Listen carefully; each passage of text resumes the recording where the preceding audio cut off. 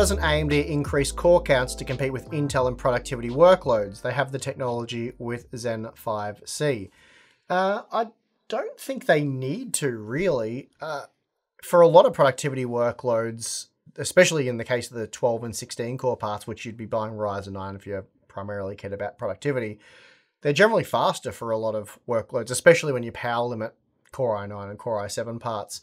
So, you know, there are some applications where those E cores really do work quite efficiently, but there's a lot of applications where efficient cores just aren't as advertised and you, you find the 12 and 16 core Ryzen 9 parts delivering better performance and much, much better power efficiency.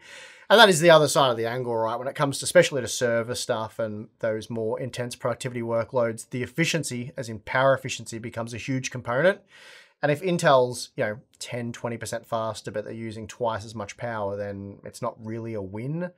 Um, there'll be certain instances where time is money and you'll, you know, the time factor matters above all else.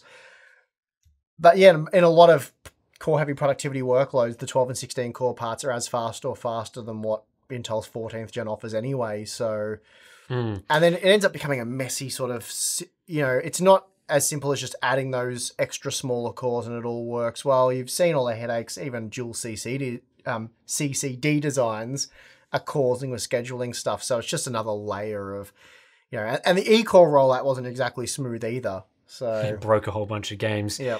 Yeah, I mean, really the productivity angle with Intel CPUs is that for the mid-range parts, so like your Core i5s, you get boosted multi-core productivity performance because they offer more cores. Whereas if AMD really wanted to compete with that, they don't necessarily need to make higher core count processors because, as you said, the 16-core part is pretty similar in performance to the highest core count Intel part.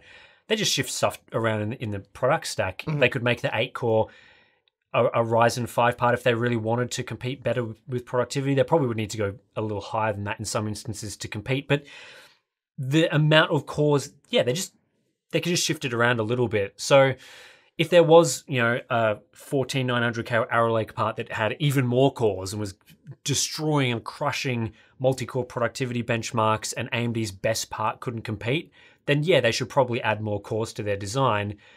But for a lot of people, like for us, right, we work, we need fast CPUs and multi-core CPUs for our video editing and stuff. I know Balin uses Threadripper, so we're not talk- really talking about desktop platforms, but most people who, who, you know, time is money sort of people who need high multi-core performance are not necessarily buying mid-range affordable parts. It's more geared towards the higher end stuff. Like for us as a business, right?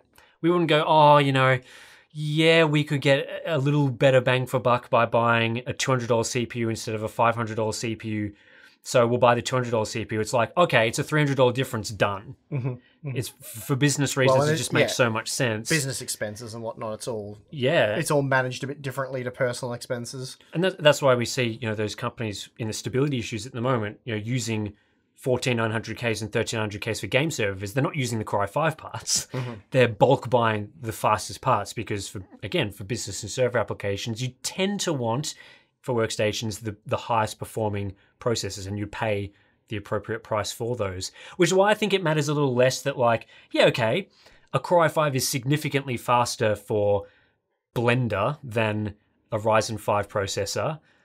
But most people who are doing CPU blender rendering, which let's be honest, most people are probably using a GPU anyway, but let's say they're using CPU blender rendering, they're already looking at only the Ryzen 9 or Core i9 parts. Yeah, certainly professionals. That's- Certainly professionals. So yeah, it's it's a small niche use use case for people who want those bang for buck multi-core productivity options, but most people want to know about in that price range gaming performance, want to know about you know the general everyday application performance, and that's why parts like Zen 5 was so disappointing. Is because they didn't offer those gains for the applications that someone buying a Ryzen 7 or 5 processor would be using them for.